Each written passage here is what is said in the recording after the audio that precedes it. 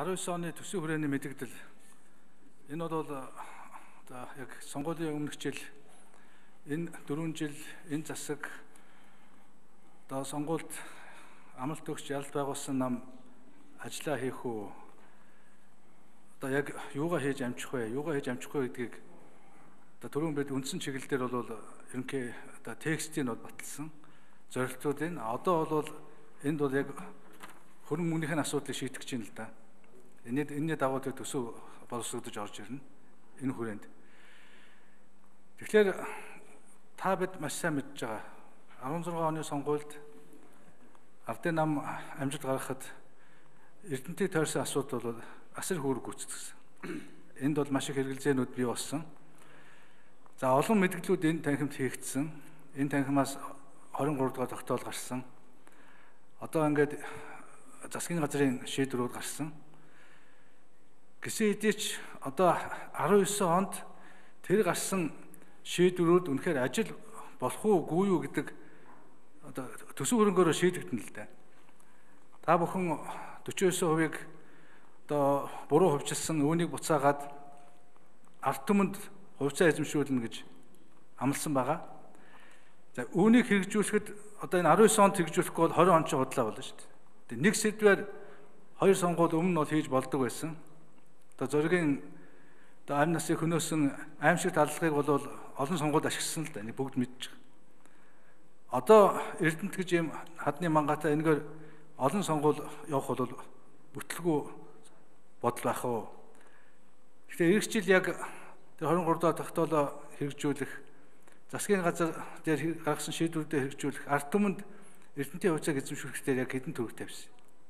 Яг яаж хэрэгжүүлэх Үнэхээр энэ бол зүгээр материал нулимс болвол одоо арт түмэнд үннийг хэрэг цаг бол болсон.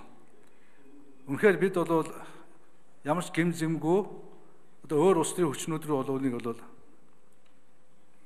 хэлсээр тохож ийм улс төр хийсэн. А эцэст энэ бол бидэнд бол 65 гишүүн байна. Төрийн бүх эрх мэдэл байна өнөөдөр энэ танхим дотор. Тэгээ бид бол арт түмэндээ зүгээр ил бүзүүлээд ингээд цаашаа бол бидний хувьд бол энэ талаар бол энэ ажлыг хэрэгжүүлэх ийм болцоогүй гэж үннээ хэлэх цаг яг өнөөдөр. Үнэхээр энэ төсвийн хүрээний мэдгэл дээр энэ бодлого чинь мөнгө төгрөгийн хувьд бол багцсан уу, бүтсэн үү гэдгээл одоо яг арт түмдээ хэлэх цагаа. Үүнийг л одоо би хариулахыг хүсэж байна. Хөрлөтөр сайд хариулъя.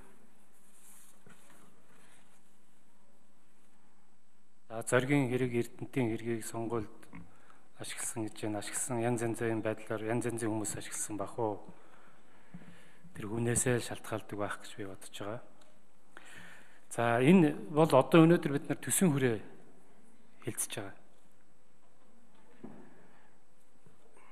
Эрдэнэ төлбөрөөс 2019 онд бол нийтдээ нэг 570 орчим тэрбум төгрөгийг төлрүүлэхээр тусгасан.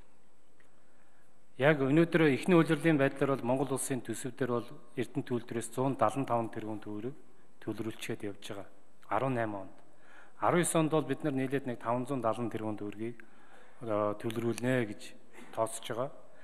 За ногдол ашигын хувьд бол Монгол улсын одоо улсын хурлын 23 дугаар тогтоолын дагуу за засгийн газар гаргасан шийдвэрийн дагуу Эрдэнэ төлбөр 100% төрөө өмч байна л гэж үзэж тэр ногдол ашигаач хүртэл 100% авахаар энэ төсвийн тооцоонд бол оруулсан гэдгийг би хэлмээр байна.